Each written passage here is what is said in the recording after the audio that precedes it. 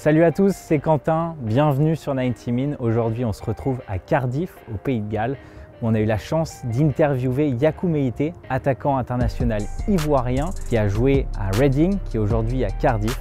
On a pu l'interviewer, on a pu parler du PSG, on a pu parler euh, de sa formation, mais aussi des joueurs issus du centre de formation du PSG. On a parlé évidemment du Championship, du championnat d'Angleterre de deuxième division. Yakou Meite et 90 Min, c'est tout de suite. Mais en championship, c'est H24. Même rythme, duel, tacle, bagarre, ambiance. Voilà, ça c'est un match de, championship. De jouer pour ce maillot, c'est incroyable. Il y a beaucoup beaucoup de gens qui auraient aimé être à notre place à cette époque-là. Franchement, c'est que des, comme je dis hein, tout le temps, c'est que des bons souvenirs. Et je vois c'était Zlatan, je sens que lui, il va tirer, il va, il va, il va bombarder. Je me rappelle, on, donc on faisait des passes et dès que ça arrive à lui, il m'envoyait que des mines. Mais j'étais trop concentré ce jour-là. Quand on parle de Mike, quand on parle de Kingsley, on parle de Moussa, on parle de Christopher, tous ces joueurs, Rabio, tous ces joueurs-là, il y a au moins un fan qui a dit, prends l'a vendu. Comme quoi la formation était bonne et leur choix de carrière a été bon. Je pense que c'est plus le PSG qui, qui doivent se mordre les doigts parce qu'en soi, tu peux faire clairement un 11 de Titi du PSG facile. Bon, on l'a fait en, français ou en anglais cette interview En français. Ouais, en français. Allez. Mais bon, t'as un bon, euh, un bon accent anglais. Ça, hein, va. ça va. On l'a vu. bon, Yakou, on t'a vu sortir euh, blessé contre Sunderland. Comment ça va depuis? Bah écoute, euh, Rotterdam. Ouais. Rotterdam. Rotterdam. Et euh, c'est la semaine dernière. Ouais, bon écoute, bah, ça va. Ça va. C'est juste que petite douleur aux, aux ischios. Donc on a enchaîné beaucoup, beaucoup de matchs en quelques en quelques semaines. Donc euh, voilà, mon ischio il a lâché, mais c'est pas trop trop grave. Donc on espère avant la, après la trêve Super. pour revenir. Euh, tu es récemment arrivé justement dans ton nouveau club à Cardiff. Euh, quel bilan tu tires de ces premières semaines avec ton nouveau club? Dans mon, dans, mon, dans mon, cas à moi, déjà, moi je suis resté très longtemps à Reading. Je suis resté 6 ans, 6 ou 7 ans. Donc j'ai fait PSG, et euh, Reading. Et après, j'ai pas fait, à part euh, Sochaux en, prêt, après, j'ai pas fait d'autres clubs. Donc, euh, euh, je dirais pas difficile de s'adapter vu que c'est le même championnat, mais c'est juste difficile de, changer de, vie entre, entre guillemets, même si Reading et Cardiff, c'est pas très très loin. Mais j'avais mes habitudes, donc les habitudes, on va dire que tu les perds. Puis c'est pas les mêmes coéquipiers, pas, les mêmes, pas le même environnement. Donc voilà, il y a eu ce petit temps d'adaptation, mais je pense que sinon ça va. Le début, il est bon. Euh, point de vue de, l'équipe aussi, on était sur quatre, euh, victoires euh, d'affilée. Donc c'était c'est bien, c'est un bon début, je dirais. Et bah, justement, après, après 10 journées, le club est 8 avec le même nombre de points que le 6 qui jouerait éventuellement bah, les, les, playoffs. Tu penses que c'est quoi les objectifs pour cette saison que vous étiez fixés en début de, début de saison, justement? Bah, Je pense qu'on est, dans une, est dans une phase où on essaye de, on essaye de, on, essaye de se dire qu'on peut aller plus haut, c'est clair, mais euh, on essaie de ne pas griller les étapes. Donc on essaye de prendre euh, match par match et d'être euh, au moins dans les, dans les 10 premiers en janvier pour essayer après de pousser, pourquoi pas pour les playoffs. Après, je pense que c'est un objectif du, club, des joueurs. Mais on va essayer de, rester humble parce qu'on a l'année dernière, tout comme nous à Reading, ils sont sortis d'une saison compliquée. Donc maintenant, il y a beaucoup de, nouveaux joueurs qui viennent d'arriver. Donc maintenant, on essaye de se mettre, euh, on essaye de se mettre tous au service du collectif. Il y a un nouveau coach aussi qui aussi a des objectifs. Mais voilà, si ce n'est pas cette année, on espère l'année prochaine. Mais ça, ça reste euh, un objectif, mais on va dire dans, dans, le coin de, dans un coin de notre tête. Et toi, à titre personnel, tu t'étais fixé quoi comme objectif en arrivant euh, à Cardiff pour cette saison? Bah, Ce qui m'a fait aussi venir à Cardiff, c'est le coach avec qui j'avais discuté plusieurs fois et qui, m'avait dit qu'il voulait une équipe compétitive. Donc euh, voilà, il m'avait clairement dit que si je venais, c'était pour avoir euh, autour de moi des joueurs compétitifs, des nouveaux joueurs aussi, avec une avec une détermination d'essayer de, d'être dans les playoffs. Après, comme j'ai dit, ça reste dans un coin de notre tête, mais c'est step by step parce qu'on est une équipe euh, qui vient de se reconstruire, entre guillemets. Donc, euh, on essaye de se donner du, temps, mais dans le foot, on n'a pas trop de temps aussi.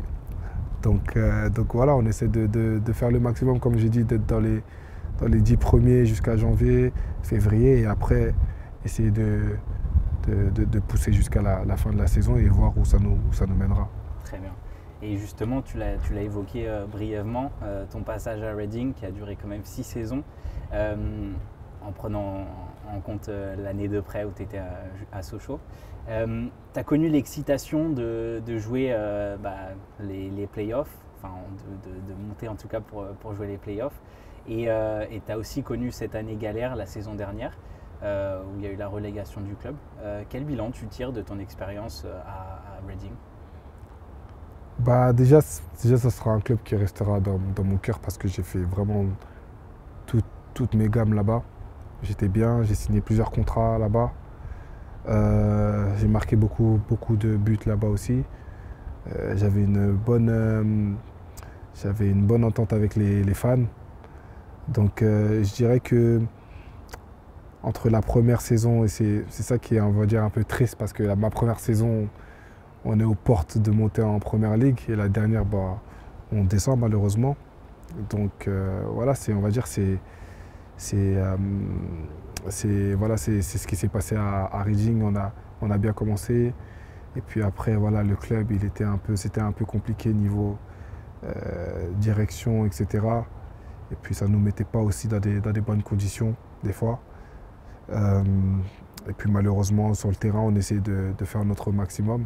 Mais à un moment, quand c'est compliqué, quand tu perds des points, alors que ce n'est pas, pas forcément de la faute des joueurs, tu perds 3, tu perds 6 points, alors que tu es vers la fin du championnat, il y a des choses où tu ne tu, tu contrôles pas en fait. Et comme euh, on essaie de se dire avant la, la, fin de la dernière saison, on disait qu'il y a des choses qu'on ne maîtrise pas, nous, on essaie de, de donner notre maximum sur le terrain. Mais ce qui se passe en dehors du terrain, malheureusement, euh, on peut, ne peut rien y faire. Donc on a fait notre maximum jusqu'au bout.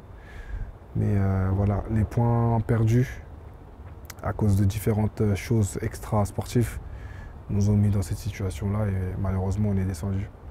Et de manière générale, sur ces six ans, euh, faire six ans en championship, ça forge un homme, non? Ah, mais ça c'est sûr. Je dis, moi au départ, championship, je ne connaissais pas. Championship, je ne connaissais pas. Quand on m'a parlé de D2 anglaise, j'ai dit non, D2 anglaise, non. Et puis, au final, je me suis dit pourquoi pas? Parce que je suis venu visiter les, installations à Reading, je me rappelle très bien. Je suis venu et puis ça m'a surpris. Ça m'a surpris. Je me suis dit, ah, mais c'est pas ce que, ce que je pensais. Moi, je pense que en tant que joueur français, en fait, là maintenant, c'est différent. Il y a plus de monde maintenant qui connaît euh, la D2 anglaise. Mais à mon époque, il n'y en avait pas beaucoup. Ça veut dire qu'il fallait venir, venir voir de toi-même pour voir que voilà, l'Angleterre, c'est quelque chose, même D2, de, de, de, première ligue à D4, D5. Tu viens voir un match, terrain, les stades sont, sont remplis. Mais il faut le, faut le voir pour, euh, pour croire. Et ça fait vraiment une différence avec euh, bah, le football français que tu connais, que tu as connu en tout cas ben, Je dirais que la Ligue, la Ligue 2, si je prends la Ligue 2 comme j'ai été à Sochaux, euh, ils sont, euh, le football, c'est pas une passion, c'est pas vraiment une passion comme ici. Ici, c'est vraiment, comme j'ai dit, de première ligue à D5, ça peut être rempli. Un stade de D5 peut être autant rempli, ou D4, je dirais, peut être autant rempli qu'un stade de Ligue 2. Si tu enlèves euh, Saint-Etienne, si tu enlèves Lens à l'ancienne, à, mon époque, quand j'étais à Sochaux, ça peut être autant rempli. Après, bon, Sochaux, c'était c'était rempli de temps en temps, mais bon, c'est comparable à une des 4, des, des 3 d'ici. quoi. Je comprends. Et euh, justement, si tu devais raconter peut-être euh, deux à trois euh, anecdotes incroyables du championship, tu, raconterais quoi comme anecdote? Sur ce que tu as connu, ce que tu as vécu Sur ce que j'ai vécu. Bah, bah déjà, c'était mon, mon, mon, chant à Reading. Donc moi, j'avais pas l'habitude, mais quand on, quand tu joues à domicile et que les fans ont préparé un chant pour toi et que tu es sur le terrain, tu l'entends, ça fait plaisir et ça te donne cet extra boost, on va dire. Donc ça déjà, c'était... nous le chanter C'était uh, We've got Meite, Yaku Meite, I just don't think you understand. We sign him on the free from PSG, we've got Yaku Meite. Tu veux que je traduise ou pas? Non, on mettra la traduction pour les ceux qui vont visionner la vidéo, c'est incroyable. Ouais, non, franchement, ça m'a ça m'a surpris. Ça m'a surpris, surtout que voilà, moi j'ai eu un chant vraiment euh, rapidement. Et après ce chant-là, il m'a suivi toutes, euh, toutes mes années à, Reading. Franchement, c'était. Pour ça, je me sentais vraiment chez moi. Je me suis vraiment senti à la maison. Quoi. Si tu as une autre anecdote, peut-être d'un match euh, horrible que tu as pu vivre. on parle beaucoup, tu sais, du mardi soir dans le, dans le froid de Stoke. ah oui, vécu, ça hein? Oui, ça, je l'ai vécu, ça. C'est vrai qu'à Stoke, là, c'est pas, pas facile. Hein. Il fait froid. Mais euh, si je dois prendre. Euh, franchement, tous les matchs sont. Tous les matchs, ils sont en fait, tous les matchs en championship, ils sont, ils sont si différents en fait. Et ça s'enchaîne tellement que là maintenant, tu me demandes, j'ai pas d'anecdote précise, mais je suis sûr que ça va me, ça va me venir. on, y reviendra si besoin, mais euh, si, si tu as quelque chose qui te revient, n'hésite pas. Non, on sait que c'est un championnat qui est, complètement fou. Tu as 46 journées. Euh, sur une saison, tu dois faire aller une soixantaine de matchs avec la pré-saison, peut-être même plus. Euh, est-ce, que, est que tu pourrais décrire le, championship en quelques mots pour ceux qui, suivent peut-être ça d'un petit peu plus loin? Alors, championship, c'est.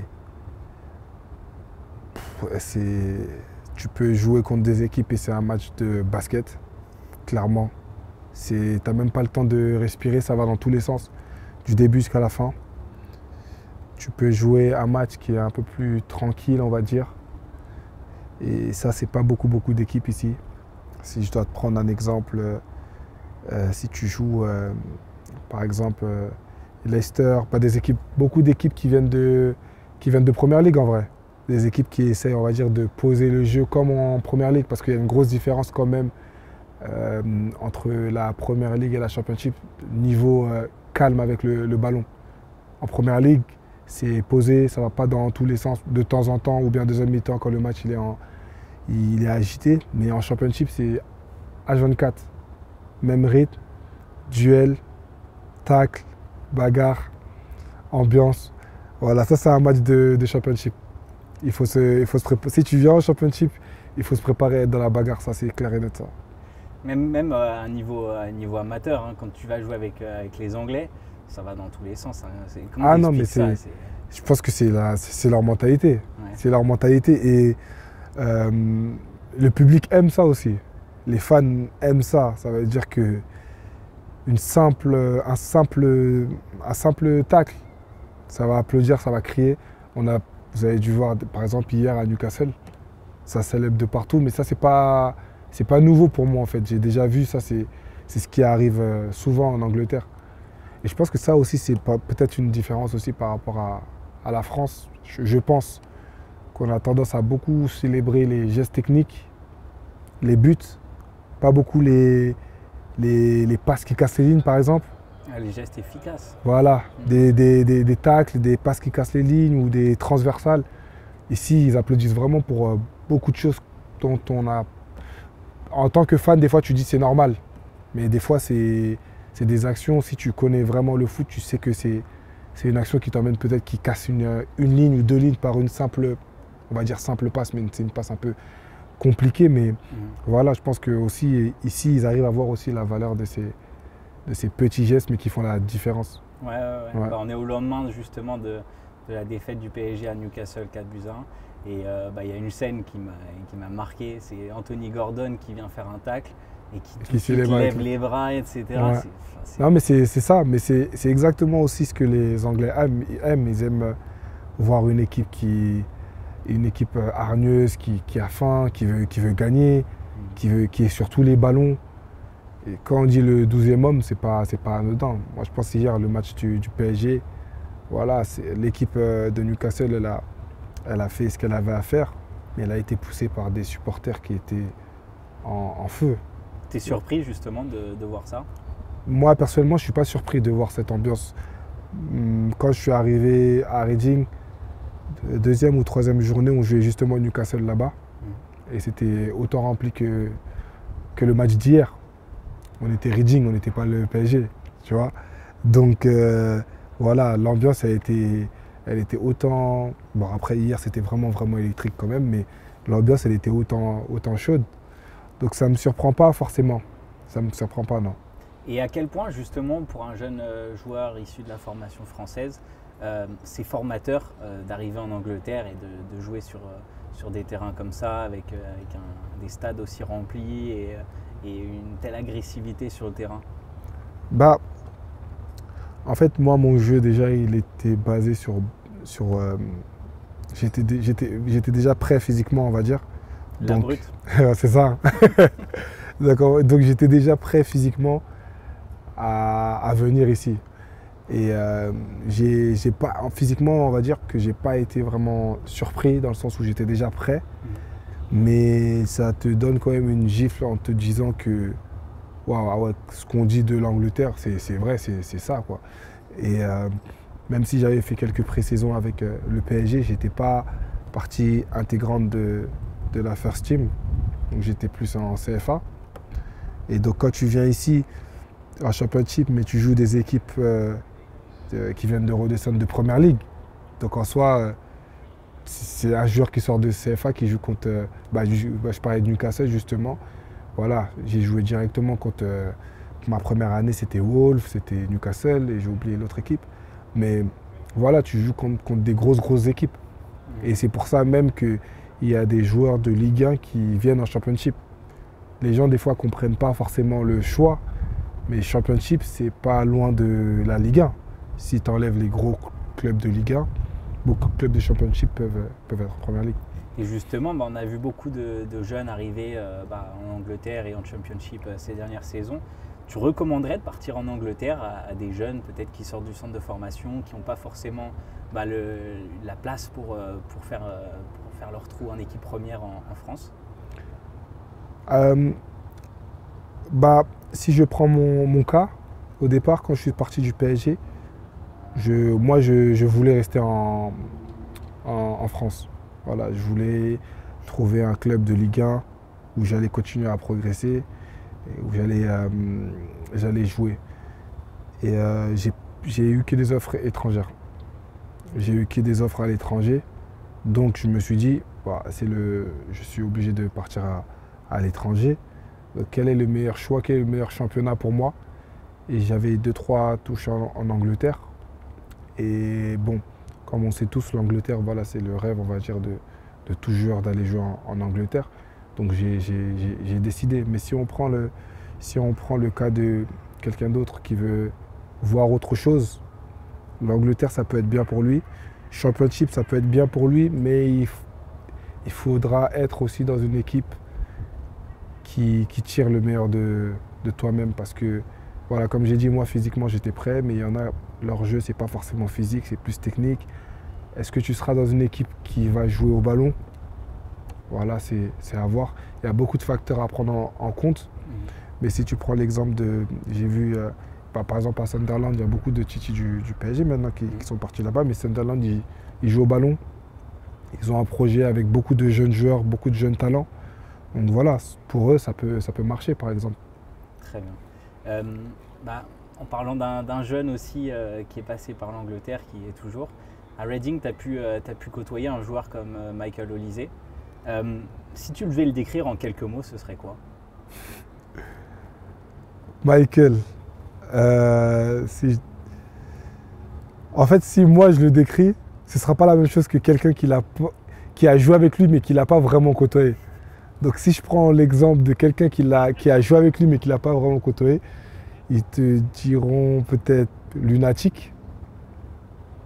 Moi, je te dirais, franchement, il faut le comprendre. Il faut, il faut comprendre, il faut rester avec Michael. Il faut avoir une... Euh, faut créer un lien avec Michael pour, pour comprendre. Voilà, parce que de l'extérieur, on peut penser beaucoup de choses de lui, mais moi, le connaissant très bien, c'est franchement, c'est un, bon gars.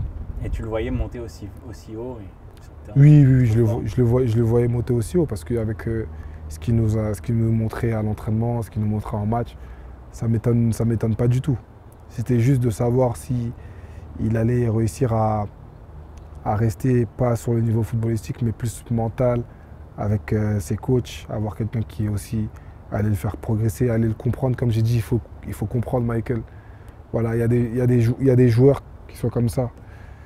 On ne dit pas de les traiter différemment, mais il faut essayer de les, de les comprendre pour les mettre dans les meilleurs, euh, dans, dans les, dans, dans- dans les meilleures euh, Conditions. Voilà, conditions possibles. Tu le vois un jour pousser les portes de l'équipe de France Oui. ou de n'importe quelle autre Oui, sélection oui, non, ouais, tu vas, tu vas, tu vas piéger. non, mais pour l'instant, il joue avec la France, donc j'espère Ouais. pour lui qu'il joue- qu'il continuera comme ça. Mhm. Mais euh, je pense que s'il joue avec la France, avec les espoirs, c'est qu'il a pour objectif d'aller plus haut.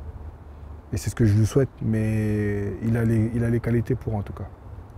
Euh, et pour revenir à toi, euh, ça fait longtemps que tu es en Angleterre aujourd'hui, euh, tu t'y plais, enfin même si aujourd'hui tu es au Pays de Galles, mais revenir en France un jour, c'est quelque chose que tu as en tête ou pas forcément, tu verras en fonction de, de ce qui se présente à toi?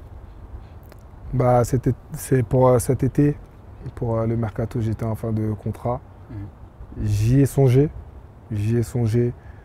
J'étais pas loin de, de revenir en France. Je me suis dit que voilà, j'ai pris en maturité en Angleterre. Euh, je suis plus le même euh, Yakou qui était au PSG. J'ai grandi. Donc pourquoi pas revenir en France et, aussi rester près de, la famille. Et puis après, voilà, il y a cette offre de Cardiff aussi qui est venue. Il y a beaucoup d'aspects aussi qui, ont fait que voilà, je suis resté en championship. Mais pour répondre à la question, pourquoi pas Après, je ne suis, pas vieux non plus, j'ai 27 ans. Donc, euh, pour- pourquoi pas Pourquoi pas la France Euh, on, en a, on en a un petit peu parlé un petit peu plus tôt. Maintenant, on va faire une grande page PSG, évidemment, parce que c'est aussi quelque chose qui, t'a- qui a marqué ton, ton début de carrière et ta carrière de manière générale. Euh, donc, tu es, issu du centre de formation du PSG. Tu es né en 1996 et je crois que tu arrives au centre de formation en 2009, c'est ça? 2009, oui, Ouais. oui c'est ça. Donc, c'est juste avant l'arrivée de QSI au PSG. Oui. Euh, D'abord, quel souvenir tu as du PSG Du, du, du PSG, du centre de formation ou Ouais, tout en... de- du, du centre de formation et du PSG de manière plus, plus générale? Bah, franchement, j'ai que des, j'ai que des bons souvenirs. Que ce soit les joueurs, que ce soit tout ce qui est staff, coach, ils m'ont tous apporté quelque chose dans ma carrière. Franchement, tous. Le, le- le centre, de- le centre de préformation, le centre de formation, euh, l'environnement, comment on était traité, et même le fait de se dire qu'on joue au PSG, c'est différent que tout autre euh, club. C'était un rêve aujourd'hui euh, d'évoluer au PSG. Bah, c'est clair que c'était un rêve. Parce que en soi, euh, quand tu viens de la région parisienne, voilà, c'est que le, le summum, on va dire, c'était Clairefontaine ou c'était PSG. C'était entre les deux. Mais se dire que je joue au PSG, d'avoir ce, logo, de, jouer pour, euh, pour ce maillot, c'est incroyable. Il y a beaucoup, beaucoup de gens qui auraient aimé être à notre place à cette époque-là. Et euh, ouais, franchement, c'est que des, comme je dis hein, tout le temps, c'est que des bons souvenirs. Euh, donc à 17 ans, tu arrives avec la réserve du club. C'est-à-dire que tu t'entraînes avec les professionnels, c'est bien ça? Alors, il faut savoir que moi, je m'entraînais de temps en temps. Il y avait des joueurs qui s'entraînaient régulièrement. Moi, je m'entraînais de temps en temps. Donc, ça m'arrivait d'aller avec eux. Ou ça m'arrivait aussi quand, les, quand il y avait la trêve. Donc, il n'y avait pas beaucoup de. Il y avait beaucoup de joueurs qui allaient en sélection. Donc, euh, euh, moi, je, je montais avec eux. Donc, ça m'arrivait de, de m'entraîner avec eux. Et hum, comment c'était de s'entraîner avec des joueurs euh, comme Zlatan Ibrahimovic, Edinson Cavani, j'en passe? Ben, bah, déjà, tu as toujours, toujours, la, toujours cette pression quand même. Tu as toujours cette pression au départ. Tu veux toujours. euh, t'as la pression de, bien faire en fait. De bien faire. Et euh, au départ, c'était. C'était ouais, voilà, plus une pression qu'autre chose, on va pas se mentir. Et après, une fois que tu es sur le terrain, tu te dis, bah, donne le meilleur de toi-même. En soi, c'est c'est un entraînement. Voilà, c'est pas, pas un match, c'est un entraînement. Donc donne le meilleur de toi-même. Le but, c'est de, c'est de, prendre de l'expérience par rapport à ces joueurs-là et d'essayer de donner le meilleur de, de soi-même. Tu as pu avoir un contact avec, euh, par exemple, un Zlatan? Euh, contact, c'est-à-dire? Un, un mo- un moment d'échange, on va dire, ou Ah. euh, une petite anecdote avec lui? Avec Zlatan, j'ai pas vraiment eu d'échange. Après, je me rappelle d'une anecdote. Mhm. C'était c'était un échauffement qu'on faisait. Et euh, c'était passe essuie. Passe essuie, donc tu passes et après tu changes. Ou bien tu reviens à ta, colonne, tu repars derrière. Et donc on faisait les passes et tout. Et après, moi je compte comme ça. Je compte combien de personnes. C'était à qui, allait me faire la passe en fait. Et je vois c'était Zlatan. Je, sens que lui il va tirer, il va, il va, il va bombarder. Et euh, je me rappelle, on, donc on faisait des passes et dès que ça arrive à lui, il m'envoyait que des mines. Mais j'étais trop concentré ce jour-là. Donc mes contrôles, ils étaient bons, mais je me disais, mais tu me donnes. Parce qu'en fait, quand il y, a un ballon en fait. Donc si tu rates, si ton ballon il part, tu n'as plus de ballon en fait. Donc tu te sens un peu, tu vois. Et donc euh, des vrais passes. Et on a, à l'époque, on appelait ça vraiment les passes vraiment claquées. C'était des passes claquées pour te montrer que voilà, le niveau professionnel c'est différent. Et même sur les passes, tu sens quand tu joues avec des, pros ou bien même quand les passes de, CFA et les passes de pro, c'est pas pareil.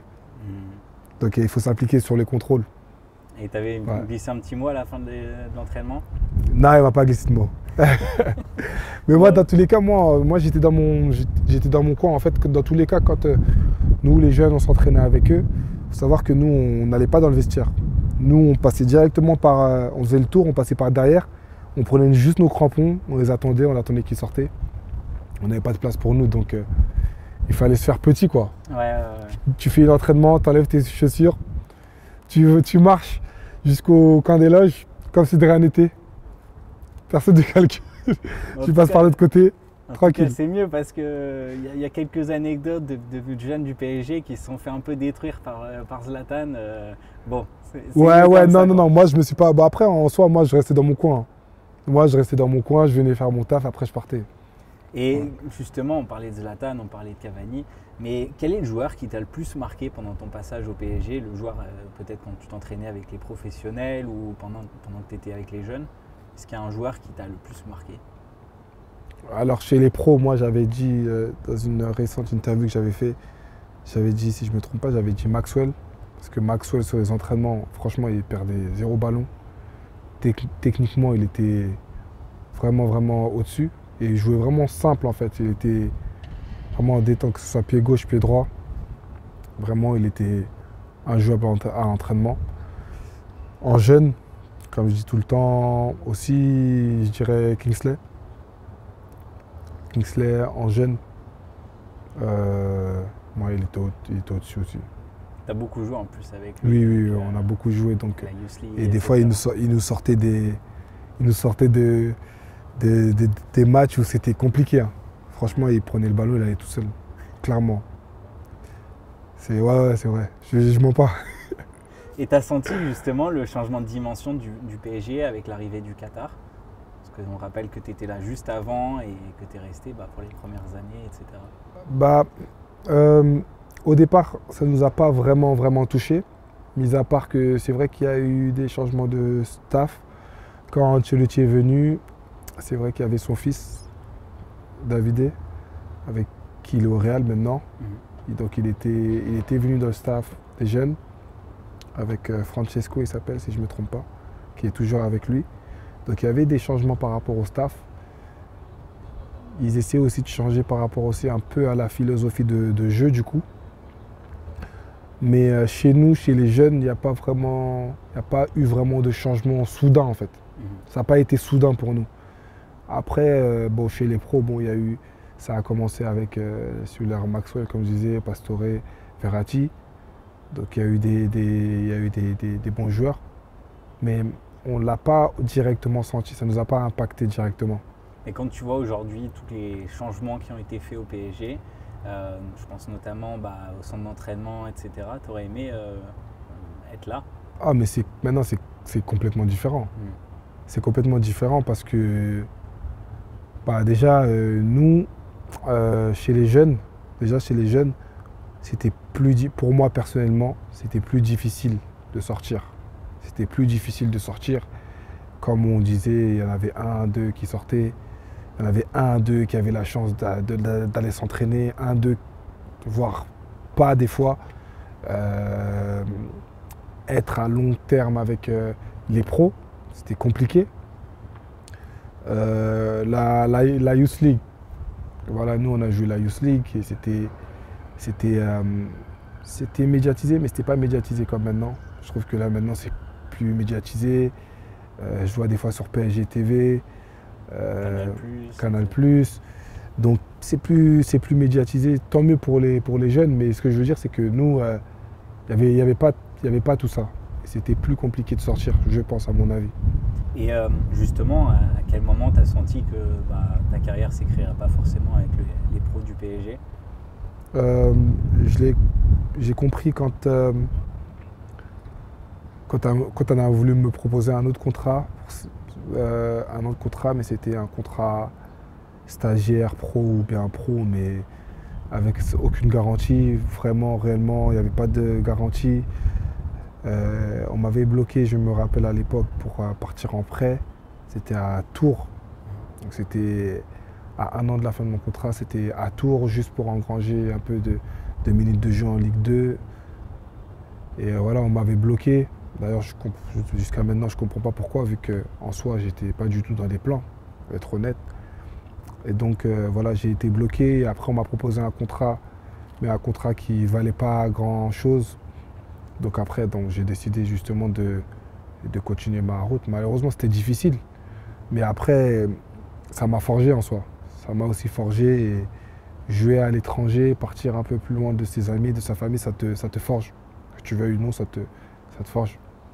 Et tu trouves que les jeunes sont suffisamment accompagnés, euh, que ce soit au PSG ou dans, dans les grands centres de formation français, à l'issue de la, de, bah, de, la période de formation, etc., quand euh, vient le moment de passer pro, de passer pro mais ailleurs ou bah, de simplement euh, ne jamais passer pro bah, je pense que le, je, ce qui est compliqué déjà pour un jeune joueur, c'est que en tant que, joueur de centre de formation, tu te dis pas je vais pas passer pro.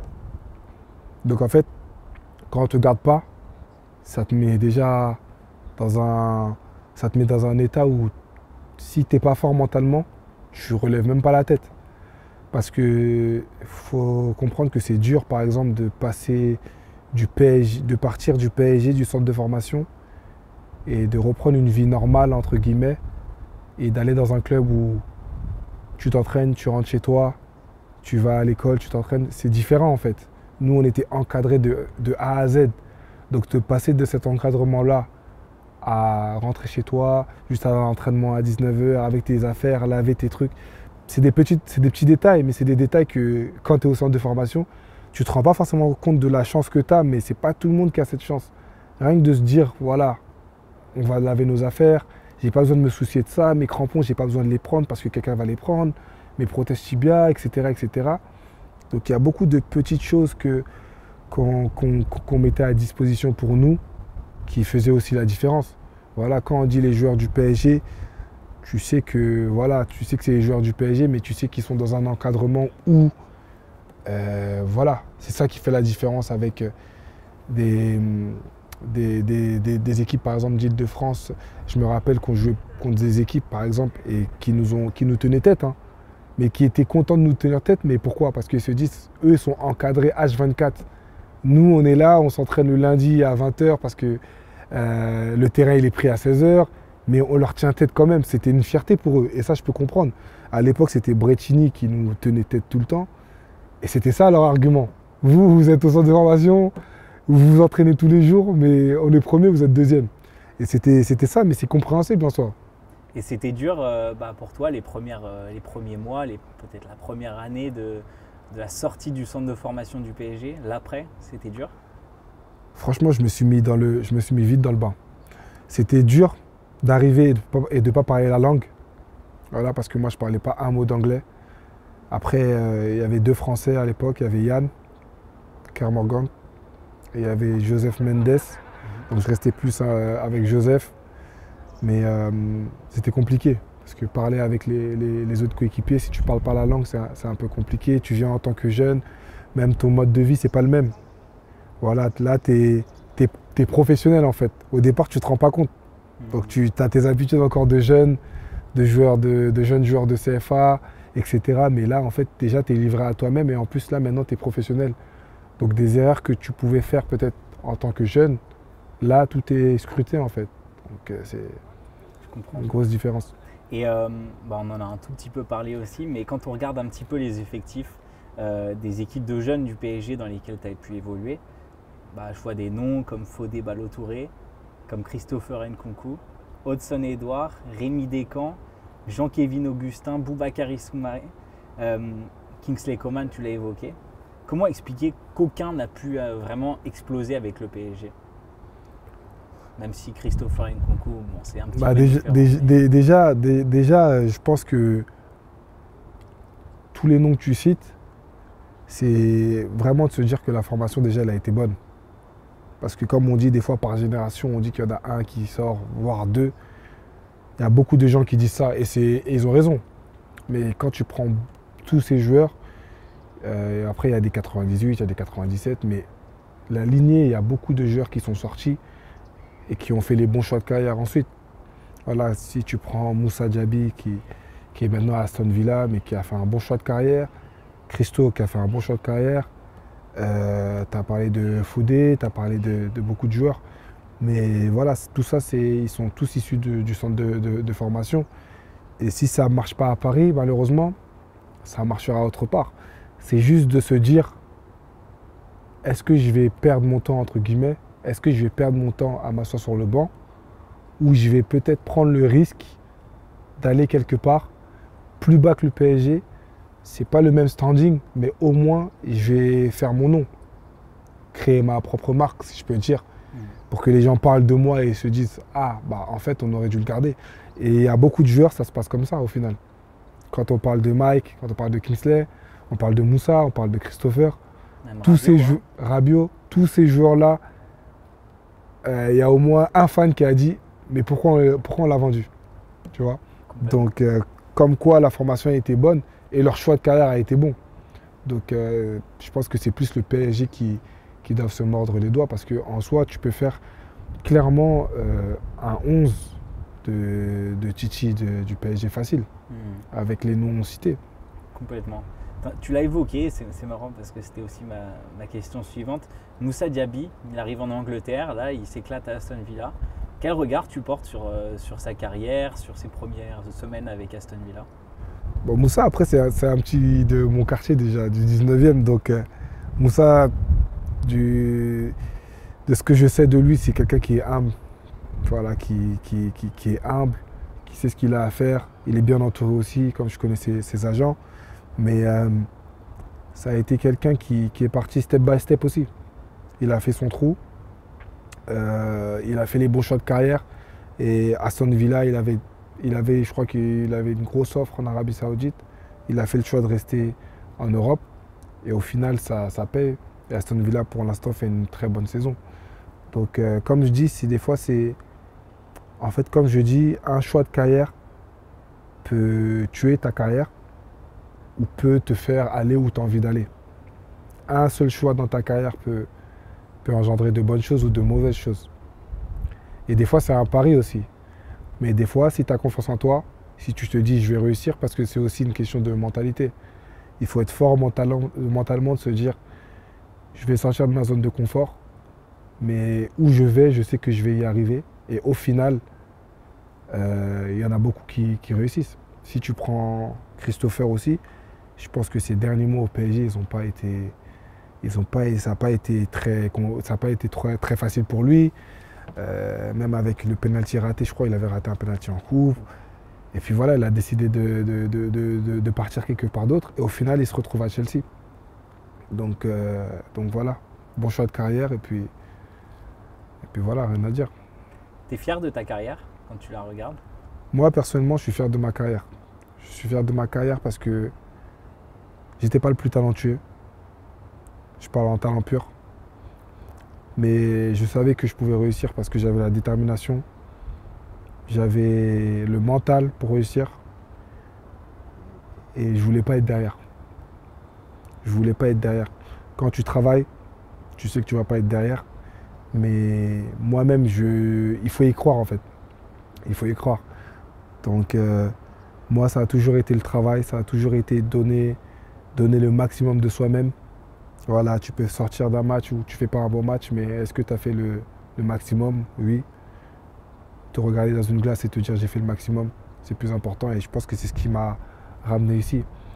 Et euh, comme j'ai dit, je, peux être, je, peux être, fier de ma carrière, je peux aller encore plus haut, mais euh, avoir une carrière en, en championship, c'est pas donné à tout le monde non plus. On sait que, comme tu l'as dit, 46 matchs dans une saison, ça fait 6 ans que je suis là. C'est ma septième, euh, du coup sixième ou septième saison si on enlève le prêt de Sochaux. Mhm. Mais voilà, il faut être fort mentalement, il faut avoir du coffre, il faut, il faut, euh, il faut avoir une bonne hygiène aussi. Important. c'est des, des, semaines euh, bah, où tu te prives, où tu vois pas forcément tes amis, ta famille, comme tu l'as dit, tes premières, tes premières années où tu étais loin de ta famille, etc.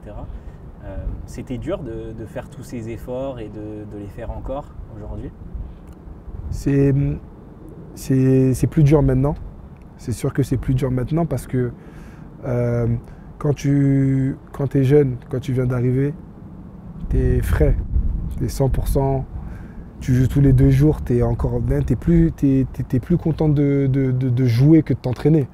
Parce qu'avant, match, match, match, mais maintenant, tu me dis deux jours, trois jours, on rejoint encore, moi je suis mort.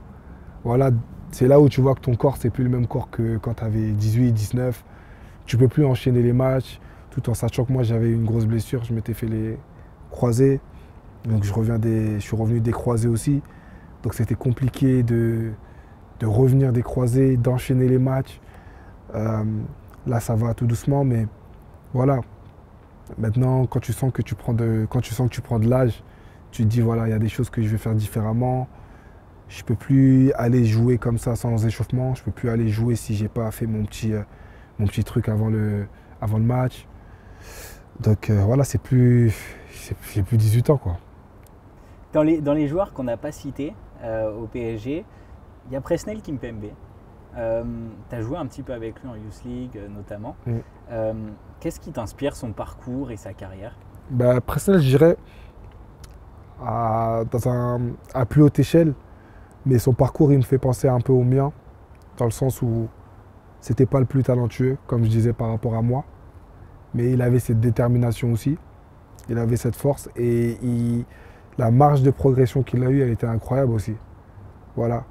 Euh, je pense que quand il, a commencé à s'entraîner avec les, pros, il n'était pas au top de, son niveau. Mais les coachs ont vu en lui une marge de progression qu'il avait et ils ont vu que c'était un bosseur. Ils ont vu qu'il voulait apprendre. Et des fois, c'est ça la différence c'est ça la différence entre un joueur qui se repose sur ses acquis et un joueur qui écoute ce qu'on lui dit. Et je pense qu'il y a beaucoup de coachs qui préfèrent ce joueur-là qui va écouter que ce joueur-là qui se dit que voilà, il est déjà meilleur et qu'il n'a rien à apprendre du coach, par exemple. On a parlé un petit peu du match de, Newcastle où le PSG s'est incliné. Euh, un joueur comme ça, euh, dans un vestiaire, ça, fait quoi comme différence? Parce qu'on sait qu'il était blessé, absent. Bah, après, il y a des leaders sur le terrain, il y a des leaders dans le vestiaire. Euh, Presse, je pense que c'est un leader euh, sur le terrain et dans le, dans le vestiaire. Euh, la différence que ça fait, c'est que c'est à ce moment-là, je pense qu'il faut essayer de remobiliser les, les, troupes en soi. Voilà, si à ce moment-là du match, 3, il y avait 3-0, à 3-0, 3-1. 2-0 à la mi-temps. 2-0 à la mi-temps, 3-0, 3-1. Donc à ce moment-là, voilà, c'est là où justement il te faut peut-être euh, un leader qui va te pousser pour aller chercher ce 3-1, ce 3-2, ce 3-3 et pas couler en fait. Parce qu'un match, ça va, ça va vite. Et surtout dans une ambiance pareille, il te faut quelqu'un qui, te, qui essaie de calmer tous les joueurs et de se dire voilà, on, passe, euh, on laisse passer la tempête et après on y va. Parce que des fois, dans un match de foot, tu vois qu'il y a une équipe qui, qui fait le dos rond pour 20, pendant 25 minutes, qui arrivent à ne pas encaisser. Et après, là, l'équipe, elle commence à reculer, justement. Et là, maintenant, ils arrivent à mettre leur jeu en place. Ça, dépend des matchs, mais des fois, ce, leader-là, il, peut te, il peut te guider par rapport à ça, si je peux dire. Et essayer de mettre euh, l'équipe en place par rapport à, à l'opposition que tu affrontes, hmm. surtout à l'extérieur. Surtout il, il était déjà comme ça quand il était jeune euh, Ouais, il avait déjà ce caractère de leader déjà. C'était déjà un leader dans, dans l'âme il était toujours. Euh, il, devait lui-même progresser déjà, mais ça, il avait déjà cette mentalité de, leader. Donc en soi, là, maintenant, ça ne m'étonne pas qu'il soit au niveau qu'il est maintenant. Après, j'espère qu'il va revenir vite parce que les blessures, surtout les longues périodes de blessures comme ça, c'est pas facile. Mais... toi qui as un regard avisé justement sur le football anglais, euh, comment est-ce que tu expliques cette, excellence de la formation en Ile-de-France et au PSG notamment? Qu'est-ce qui fait la différence avec la formation anglaise, les jeunes que tu peux côtoyer, que ce soit à Reading ou ici? En fait, en fait, en Ile-de-France, en France tout court, il y a trop trop de, de, de, talent. C'est pas explicable, c'est inexplicable. Mais il y a beaucoup beaucoup de, de talent et comme tous les joueurs, même ceux qui ont réussi pro, on a, on a tous commencé à jouer dehors. Dehors, pas de règles. On voulait juste jouer en fait. Euh, matin, nuit à l'école, il pleut, il neige, qu'un ballon en fait. Et il y a tellement de, bons joueurs, il y a tellement de bons joueurs en Ile-de-France. Malheureusement, il n'y a pas de place pour tout le monde, mais euh, quand tu vois les talents même des joueurs comme Marès par exemple, qui ont réussi tard ou qui ont eu du mal à percer, voilà, des talents comme ça, comme Marès, je suis sûr que tu vas dans d'autres stades d'Île-de-France de voir des matchs, même pas, dans des, même pas des grosses affiches, hein, mais c'est rempli de, talents comme ça. C'est rempli de talents comme ça. Il y en a un autre aussi qu'on n'a pas cité, qui a, beaucoup joué en Angleterre. Il est son parcours, ça t'inspire quoi euh, On sait qu'il a joué à Boreham Hood euh, en, équipe euh, plutôt jeune, etc. C'est un joueur qui, revient un petit peu de nulle part. Euh, qu'est-ce que ça t'inspire de le voir aujourd'hui porter le maillot de, l'OM C'est que tu es plutôt PSG, mais, mais, non, mais si je parle professionnel d'un grand club. Si je parle par rapport à son, à son parcours, son parcours il est honorable. Mais ça peut aussi justement inciter des joueurs à se dire si lui l'a réussi, pourquoi pas moi? Parce qu'il est parti de Détroit. Comme on a dit, c'était Détroit, Détroit c'est ça? Même, encore, même, même, encore, plus bas, je crois. Même encore plus bas. Donc, c'est possible. C'est de se dire c'est possible. Je ne suis pas obligé de passer par un centre de formation pour réussir. Et il y a d'autres exemples. Mais de se dire que un joueur qui était en D4 ou D5, qui est aujourd'hui à Marseille, qui, qui, aurait pu aussi jouer en première ligue avec Sheffield, c'est que moi aussi je peux y arriver. Moi aussi je peux y arriver. Donc euh, derrière tout ça se cache euh, un message. Tu peux le prendre euh, comme tu veux, mais ça peut motiver aussi d'autres jeunes joueurs qui, se disent comment je vais réaliser mon rêve? Parce qu'à l'époque, c'était de se dire il faut que je passe par un centre de formation pour être professionnel. Mais il y en a qui réussissent à être professionnels sans passer par un centre de formation. C'est aussi la chance. Et aussi, c'est de garder la foi surtout. C'est de se dire voilà, mon objectif, c'est de réussir. Je vais, je vais réussir et pas baisser les bras parce que ce ne sera pas tout le temps rose. C'est comme ça. Euh, à ton arrivée à Cardiff, euh, tu as donné une interview au club où tu as expliqué pourquoi euh, Cardiff avait un lien intime avec toi. Est-ce que tu pourrais l'expliquer? Ouais, j'avais expliqué que c'était par rapport au décès de mon père qui est décédé. Et je me rappelle quand j'étais parti une semaine sur Paris pour les funérailles. Le, match d'après, c'était contre Cardiff, justement, à domicile. Et le coach m'avait appelé. J'étais rentré, je crois, jeudi ou vendredi. Et le match, c'était samedi. Il m'avait appelé et m'a dit Est-ce que tu peux jouer? J'ai dit euh, moi, je peux, je peux jouer. Si j'arrive à temps, je vais jouer. J'ai envie de jouer pour, pour mon père, tout ça. Et au final, bah, c'est là où j'ai marqué le but. J'ai marqué le but. Après, voilà, cette vidéo, elle a tourné un peu partout, mais c'était, franchement, c'était, c'est inoubliable en fait. Voilà, c'est mon meilleur but que, que j'ai pu, pu marquer, je pense, dans ma carrière, parce que ça, c'était pas descriptible en fait. C'était indescriptible de se dire voilà, je suis arrivé, pas d'entraînement dans les, dans les jambes, rien du tout. Je voulais juste jouer. J'aurais pu peut-être me, me, blesser parce que je ne me suis pas entraîné du tout. Mais de se dire que voilà, Dieu a fait que j'ai pu marquer, qu'on ait gagné. Donc voilà, c'était une chance. Et, en plus, la semaine d'après, on les rejoint en coupe et je marque encore. Quelle place il occupait ton papa euh, dans ta vie? Bah, c'était, c'était ma force, c'était ma force parce qu'il regardait tous les matchs. Euh, il m'encourageait beaucoup. Euh, quand j'étais un peu bas, c'était lui qui me remontait le moral. Il était derrière moi, même par rapport à mes, choix de carrière. Quand, quand je voulais m'égarer, on va dire un peu, c'était lui qui me remettait sur le droit chemin. Et on avait aussi cette, euh, on avait aussi cette relation père et fils, mais on avait une relation aussi de, de pote, on va dire, entre guillemets.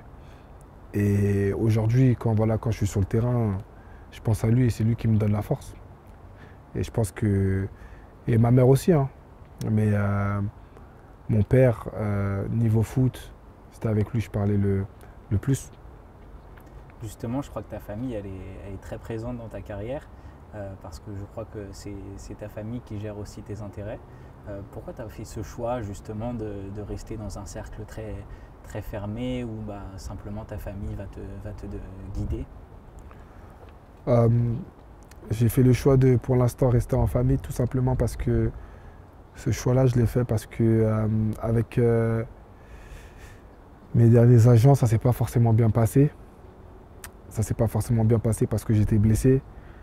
J'avais des objectifs. Comme j'ai dit, moi mentalement, j'essaie de rester fort mentalement.